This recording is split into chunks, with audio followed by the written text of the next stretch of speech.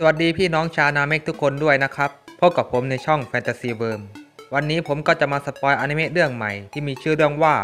m a y q Back Company มีชื่อไทยก็ประมาณว่าแรงงานทาสในต่างโลกละครับ ในคลิปนี้ผมก็จะทำมาตอนเดียวก่อนแล้วกัน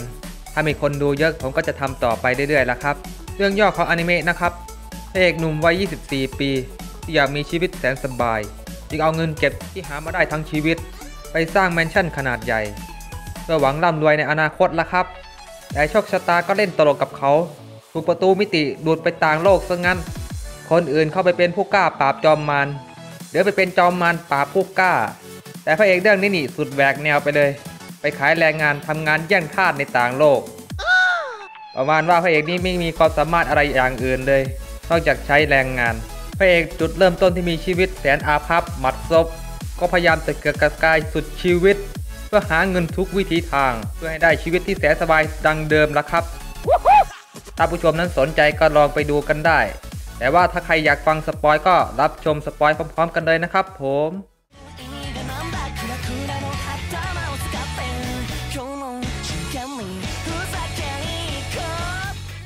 เปิดเรื่องมานะครับ พระเอกก็มีแมนชั่นสุดหรูเลยทีเดียว เขาได้ทุ่มเงินที่หามาได้อย่างยากลำบากทั้งชีวิต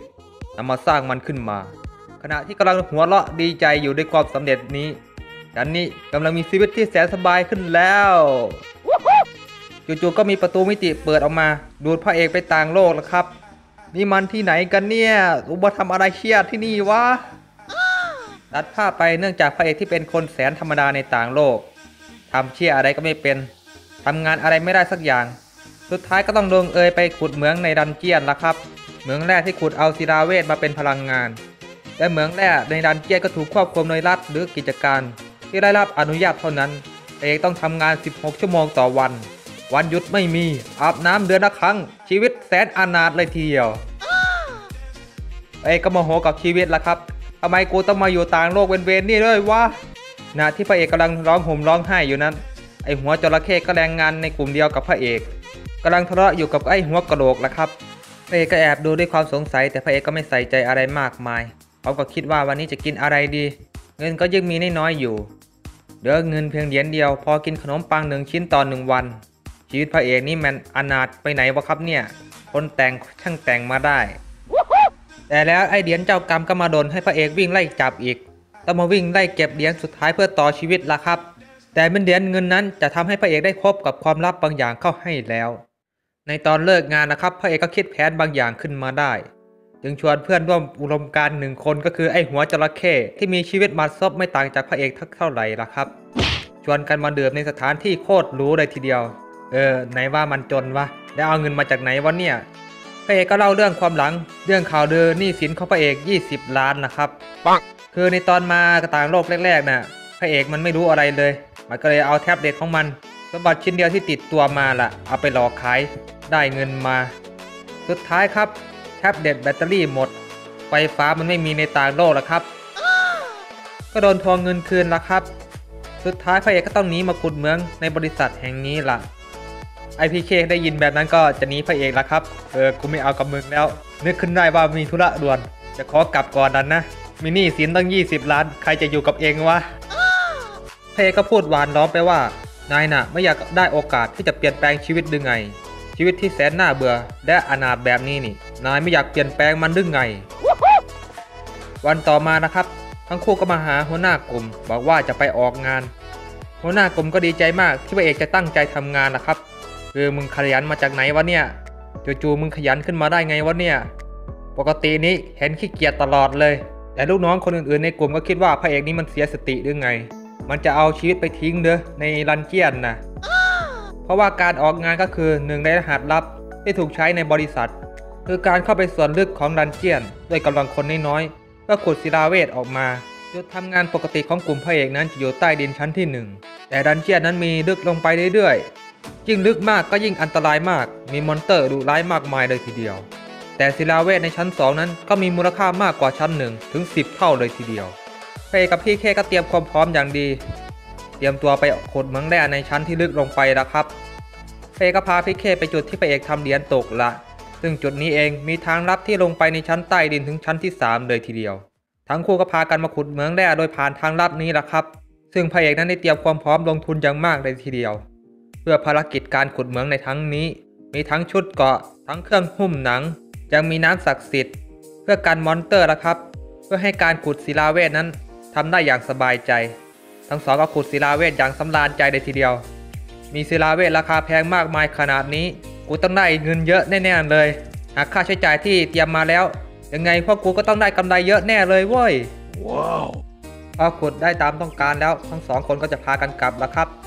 แต่ระหว่างกลับนั้นเองก็ได้เจอกับมอนเตอร์ตัวใหญ่โคตรพ่อโคตรแม่ใหญ่เข้าให้แล้ว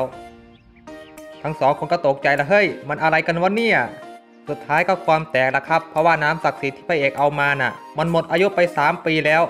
โดนหลอกขายมานะครับเนี่ยพระเอกก็ไม่อยากตายในที่แห่งนี้ละครับ ก็ว่าคิดวางแผนเด็ดๆขึ้นมาที่พี่เคออกไปเป็นตัวล่อซะงั้น ขณะที่พี่เคแกกำลังถูกกินละครับพระเอกก็เข้าไปพูดหว่านล้อมกับมอนสเตอร์ยักษ์เข้า พูดต่อรองให้มอนสเตอร์น่ะมาช่วยปกป้องในตอนขุดศิลาเวทแล้วจะให้กินของอะไรอะไรๆ ยิ่งกว่าเนื้อมนุษย์ คือมอนสเตอร์มันก็พูดได้ด้วยล่ะครับ แถมสนใจในข้อเสนอของพระเอกอีกต่างหาก ยิ่งกว่านั้นแปลงร่างเป็นสาวน้อยโลลิตัวน้อยได้เลยทีเดียว น้องนางเธอก็มีชื่อว่าริมล่ะครับพระเอกก็ดีใจมากเลยทีเดียว สายลมแห่งชัยชนะน่ะกำลังเข้าข้างตูแล้วเว้ย คิดวาดฝันความสำเร็จไว้เรียบร้อยแล้ว ตัดภาพไปนะครับ หัวหน้ากลุ่มก็ชมพระเอกใหญ่เลย เพราะว่าเดือนนี้นี่ ยอดของกลุ่มทำเงินสูงมากเลยทีเดียว แต่ว่าพระเอกเรานี้ไม่ดีใจเลยสักนิดเดียว เพราะว่าเงินที่หามาได้นี่โดนโดริน้อยแดกเรียบไปหมดเลย กินไม่บรรยะบรรยังตัวผานกำไรเลยทีเดียว เท่านั้นไม่พอครับยังเข้าเนื้อพระเอกเต็มๆอีกต่างหาก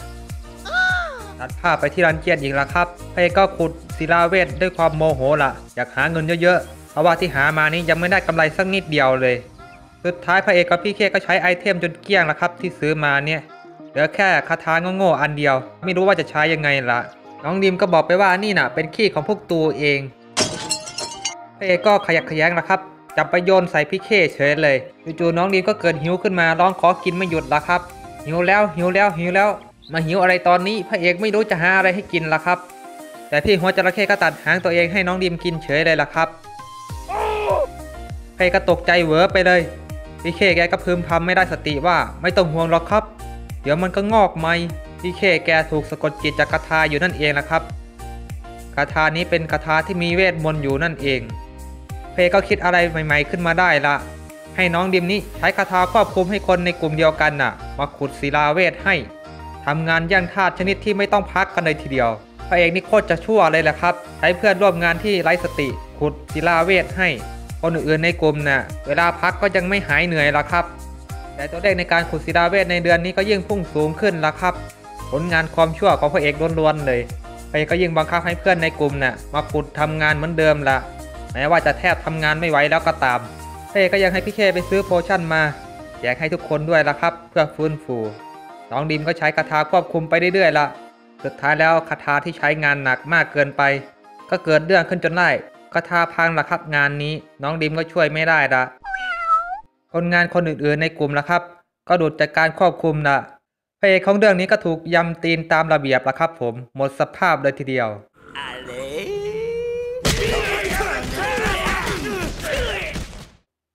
จบสปอยตอนที่ 1 ก็ฝากกดไลค์กด subscribe ด้วยนะครับ เพื่อเป็นกำลังใจในการทำคลิปใหม่ๆต่อไป ก็มาพูดคุยกันท้ายคลิปหน่อยละกัน ก็อยากบอกว่าอนิเมะต่างโลกนั้นมีให้ดูกันทุกซีซั่นเลยทีเดียว พระเอกนั้นมีทุกแบบทุกแนว มีทั้งพระเอกเทพเป็นผู้กล้า หรือเป็นจอมมาในต่างโลกก็มีมาแล้ว แต่ไปเป็นแรงงานทาสในต่างโลกนี้ เรื่องนี้คงจะเป็นเรื่องแรกละครับ ก็น่าสนใจนะครับ เรื่องนี้ผมเองกำลังติดตามดูอยู่เหมือนกัน ถ้าท่านผู้ชมสนใจก็ไปหารับชมกันได้ละครับสำหรับวันนี้ก็ต้องขอตัวลาไปก่อน สวัสดีแล้วครับเลอ